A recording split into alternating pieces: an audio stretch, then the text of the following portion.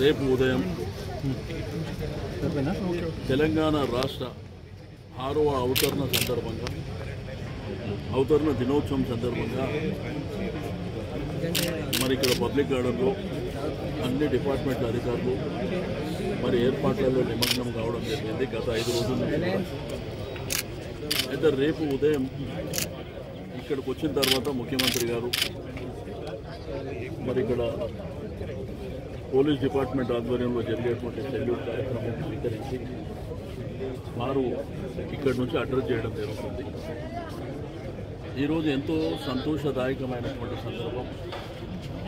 ఐదు సంవత్సరాలు పూర్తి చేసుకొని ఆరో సంవత్సరంలో అడుగుతున్నటువంటి సందర్భంలో మరి మన ముఖ్యమంత్రి గారి నాయకత్వంలో రాష్ట్రం ఒకవైపున సంక్షేమం ఒకవైపున అభివృద్ధి అంటే డెబ్బై సంవత్సరాల నుంచి జరిగినటువంటి అనేకమైనటువంటి కార్యక్రమాలకు శ్రీకారం చుట్టడం జరిగింది. ఈరోజు మన దేశం కానీ ప్రపంచం కానీ ప్రతి ఒక్కరు కూడా కరెంటు వాటర్ అనేది చాలా ప్రధానమైనటువంటి అంశాల మీద మరి ఏ విధంగా జరిగినటువంటి కార్యక్రమాలు?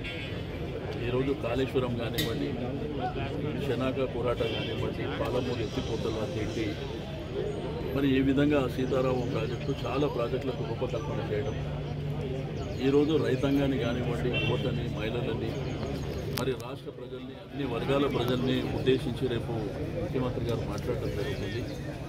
ఇప్పటికే ఈ ఆరు ఐదు సంవత్సరాలలో మరి బ్రహ్మాండమైనటువంటి వృద్ధి ఒకవైపున అభివృద్ధి సంక్షేమం గ్రామీణ ఆర్థిక వ్యవస్థ బలోపేతం కావడానికి కూడా చాలా నిర్ణయాలు తీసుకోవడం జరిగింది. ఎవరైతే కులవృత్తుల మీద ఆధారపడ్డటువంటి జీవితాల్లో వెలుగునివ్వడం రెండోది వృద్ధులకు కానీ వితంతువులకు కానీ మహిళలకు కానీ మరి పెన్షన్లు ఇచ్చేటువంటి కార్యక్రమాలు కానీ ఒక బ్రహ్మాండమైనటువంటి అభివృద్ధి. ఈరోజు దేశంలో ఒక ఎగ్జాంపుల్ కింద తెలంగాణ రాష్ట్రం ఉండడం మరి కేసీఆర్ గారు తెలంగాణ రాష్ట్రానికి ఒక ఉద్యమ నాయకుడు ముఖ్యమంత్రి కావడం ప్రజల అదృష్టం. ఎందుకంటే ఎన్ని కార్యక్రమాలు ఎవరి జీవితంలో మనం ఎక్స్పెక్ట్ చేసినటువంటి కార్యక్రమాలు మనం అసలు ఊహించిన కార్యక్రమాలు ఇవన్నీ. కాబట్టి రేపు బ్రహ్మాండంగా ఒక పండుగ వాతావరణం లాగా మరి తెలంగాణ రాష్ట్ర వ్యాప్తంగా కూడా ఈ కార్యక్రమాలు జరగడం జరుగుతుంది కాబట్టి.